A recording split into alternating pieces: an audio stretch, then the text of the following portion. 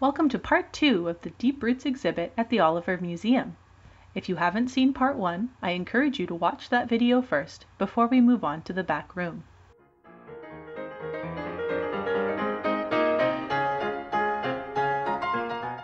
Under the Soldier Settlement Act, 22,000 acres of land were purchased for the South Okanagan Lands Project.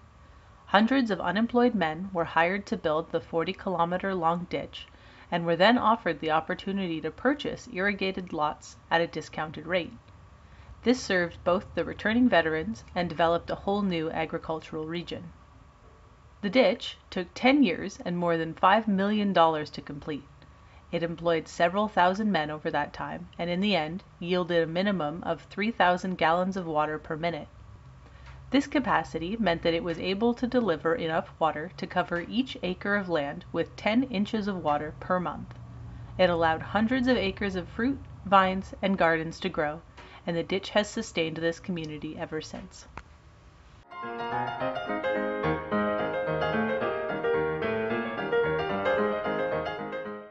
The Kettle Valley Railway Company, or KVR, based in Penticton, built the first railway line to Oliver in 1923, connecting the small town with urban centers. In 1944 the line was extended south to Osoyoos. This transportation line was critical for farmers, enabling them to grow more profitable crops such as soft fruits without worrying about their harvest spoiling on the way to market. The Canadian Pacific Railway took over the operations of the KVR in 1931. With highways becoming more economical to build, maintain, and use, the railway began decreasing services before eventually ending them to the entire subdivision of Okanagan Falls to Osoyoos in 1977. Many parts of the original KVR line are still accessible and it is well used by hikers, runners, and cyclists. In 1982 the Oliver Station was moved 350 meters north of its original location. Six years later, on September 19, 1988, it suffered extensive damage due to a fire. It was restored and has been serving as the Visitor Information Center ever since.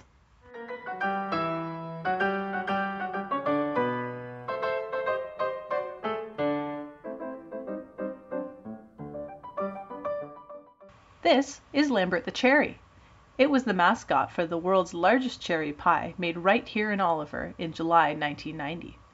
The project was organized by the Oliver Rotary Club and broke the Guinness World Record that year. In 1865 Thomas Ellis, an Irish immigrant, was the first European to settle in the South Okanagan. He began acquiring land and soon had over 31,000 acres from Naramata to Osoyoos and 20,000 head of cattle. Others followed suit, and ranches soon became very common in the area. The first orchard in the Oliver area was planted in 1890 by Peter McIntyre at the foot of McIntyre Bluff. He grew peaches, quince, apricots, and plums there. Orchards earned more per acre than cattle or hay, so pastures were replaced by rows of pears, nectarines, cherries, apples, berries, and ground crops such as cantaloupe, sucamelon, and tomatoes. Soft fruit had proven to be a market with plenty of demand, but there were certain challenges in commercial production, including intense irrigation needs and rapid spoilage after harvest. Until the ditch was built, orchardists in the area irrigated crops by hand or built their own irrigation systems. To combat spoilage, fruits were packed in wooden crates and shipped immediately, or preserved by drying or canning in syrup. Once the railway extended to the southern interior, fresh fruits were shipped in refrigerator cars, insulated with sawdust and cooled with ice. Orchards, co-ops, and packing houses became important seasonal workplaces and were one of the few early industries that employed significant numbers of women. Since the 1940s, the agricultural industry here continues to be the largest employer of new immigrants and foreign workers. It also leads with the highest diversity of employers. A significant amount of orchards and farms are proudly owned and operated by first generation immigrants and their families. Vineyard history in the Oliver area dates back to 1932 when Hungarian immigrant Joseph Renyi planted the first commercial vineyard. By 1936 Renyi had planted a total of five acres of grapes. The sandy soils and glacial till were ideal for growing grapes and could produce a lot more fruit per acre compared to an orchard. Unfortunately, he was years ahead of his time and had trouble finding a market for his grapes. After his death in 1944, the vines were pulled out and the land was planted back to fruit trees. In the 1960s, demand for grapes increased quickly. Until that time, most grapes were planted alongside other crops. New Canadian wineries needed more grapes to meet consumer demand and actively encouraged the planting of vineyards in Oliver. Suddenly, grapevines were popping up everywhere. In 1968, the Osoyoos Indian Band created Inkameep Vineyards. In 1977, it had the honor of developing the first vineyard designated wine in BC, the Inkameep Red and Inkameep White. This vineyard and its partners have been instrumental in researching grape varieties and cultivation in the South Okanagan Valley. In 2001, Inkameep Winery opened, making it North America's first Aboriginal owned and operated winery. In 2002, while on her Golden Jubilee tour of Canada, Queen Elizabeth II recognized Oliver as the wine capital of Canada. In 2015, the Golden Mile Bench became the first officially recognized subregion of the Okanagan wine region, firmly solidifying Oliver in the cultural landscape of the Canadian wine industry.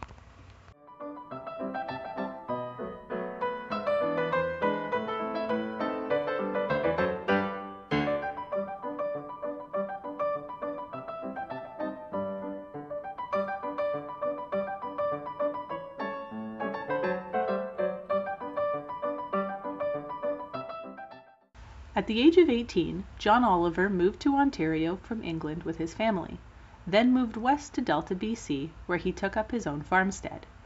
He became interested in politics and was eventually elected to the BC legislature in 1909.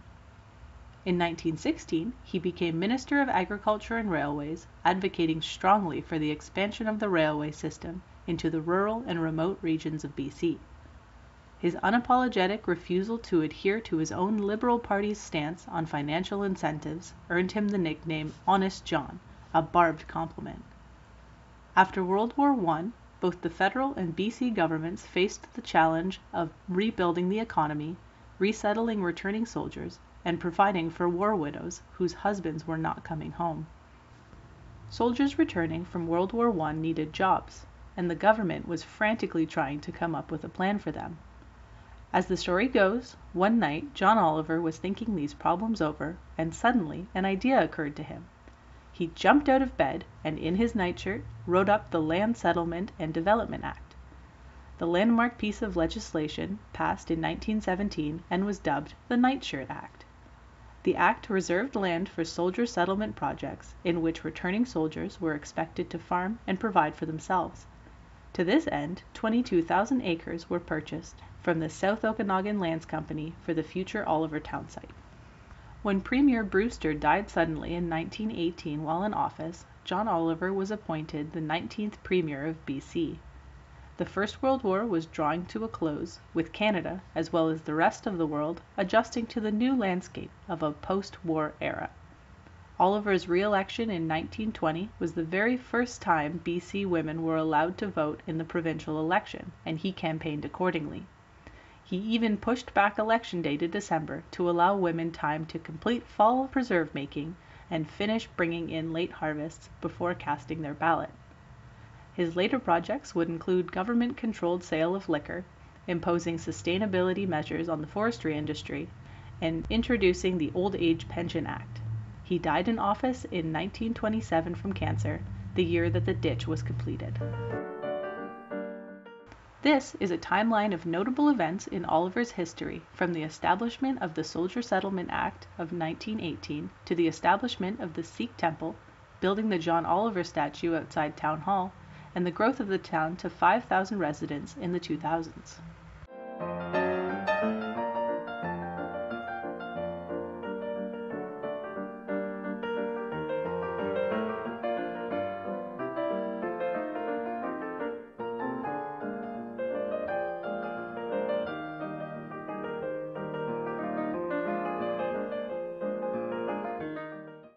Sports and recreation have played a special role in Oliver's cultural and historical narrative, bridging cultural communities in ways that professional activities and workplace relationships can't achieve.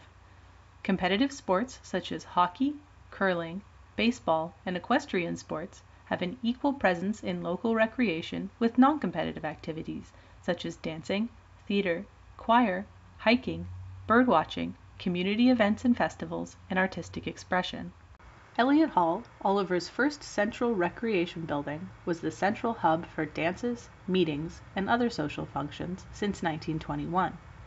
It stood near the location of the current community center and was funded by the laborers and engineers who worked in the construction camps. In 2017, Oliver's Festival of the Grape saw Canadian celebrity Rick Mercer participate in the grape stomping competition.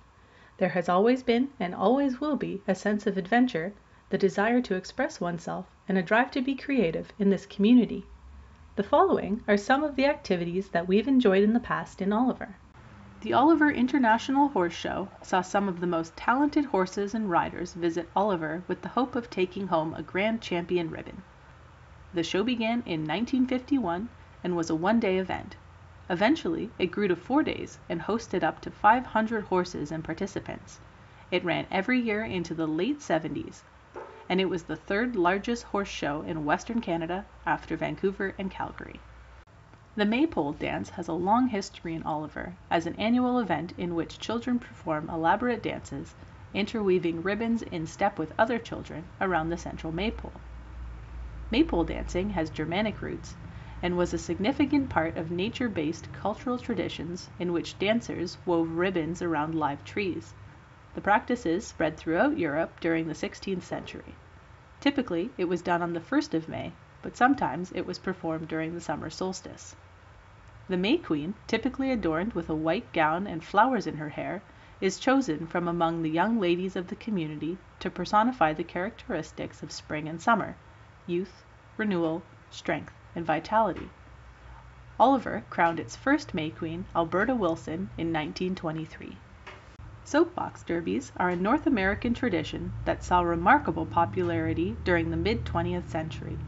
They featured homemade gravity-powered vehicles driven by youth as young as six years old competing in wild races down hilly streets.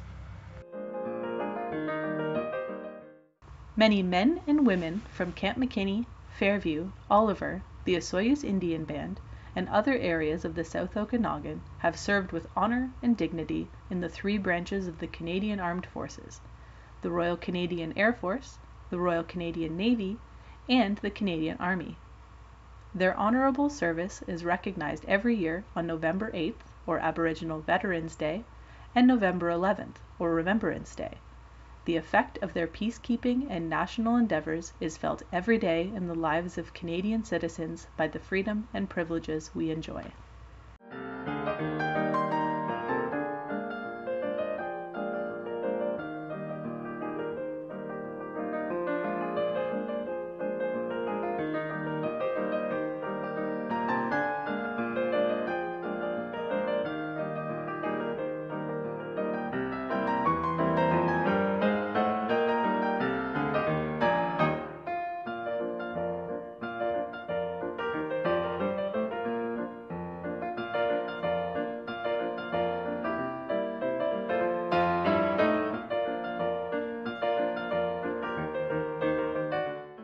In addition to the main gallery, here are some recognizable landmarks from Oliver's past and present. The Sisters of St. Anne, a congregation of determined women with a mission to provide education and healthcare, saw a need in the small but growing town of Oliver for healthcare provision. To meet this need, St. Martin's Hospital was constructed in 1942. The sisters funded the initial building costs of $130,000 and operated it for more than 30 years at their own expense. The Sisters were also trained as nurses and oversaw 42 hospital beds as well as the maintenance and operation of the building. They continued to own and operate St. Martin's until 1973 when it was officially closed due to advancing technologies which had outpaced the equipment that serviced it and the growing population of Oliver which had far exceeded its capacity. St. Martin's was replaced in 1973 by the South Okanagan General Hospital and was ultimately demolished in 1981 despite rescue efforts by the residents of Oliver. This is an image of the original Oliver School, built in 1929. It had four classrooms and a five acre playground. It once stood where the current Oliver Elementary School is located, but was demolished in 1990. The Vaseux Lake overhang was a popular tourist destination in the early 20th century. There are numerous photos such as this one showing the precarious nature of the rock overhanging Highway 97 just north of Oliver. With automobile and truck traffic increasing very rapidly, this corner was becoming hazardous and high loads were not able to pass underneath. In 1937 the famous landmark was blasted to remove the overhanging section of the rock.